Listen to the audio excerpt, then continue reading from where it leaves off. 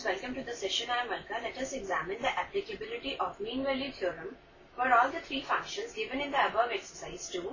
Our function is fx equal to x square minus 1 for x being the element of closed interval 1, 2. So let's start with the solution. We are given fx equal to x square minus 1 for x being the element of closed interval 1, 2. Now, since we see that the given function is a polynomial function, so it is continuous.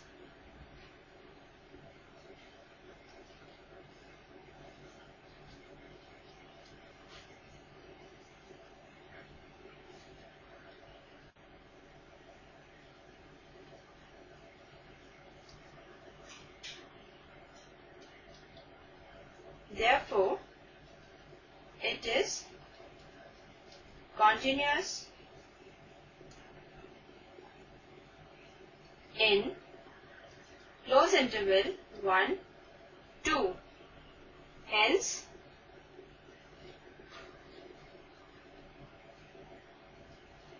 differentiable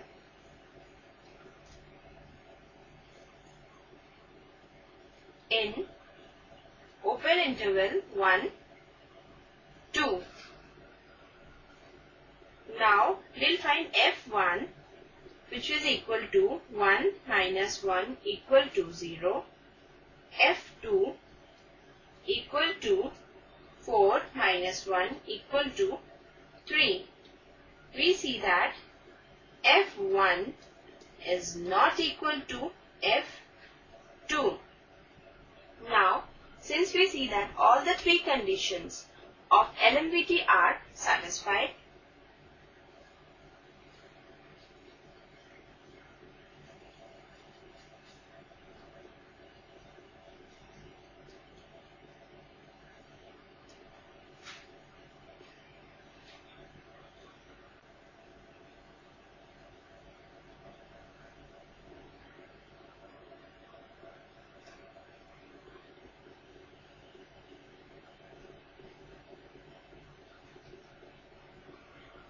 Hence,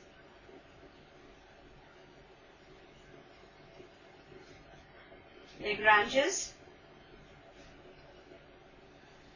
Lagrange's mean value theorem holds good. That is, there exists a point C which is the element of open interval 1, 2. Now, where f dash c equal to f2 minus f1 upon 2 minus 1. This is our first equation. Now, we are given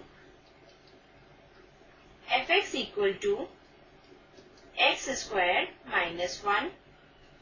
Therefore, f dash x equal to 2x and f dash c equal to 2c. Now, putting this value in equation first,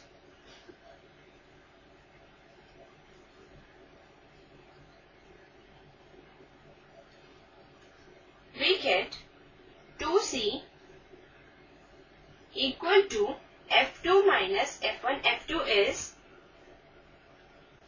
equal to 3 minus f1 is 0 upon 2 minus 1 is 1. This implies 2c equal to 3. This implies c equal to 3 by 2 which is the element of open interval 1, 2.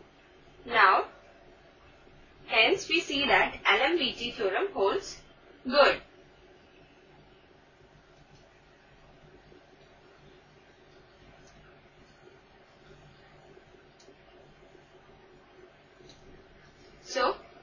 Understood the solution and enjoyed the session. Goodbye and take care.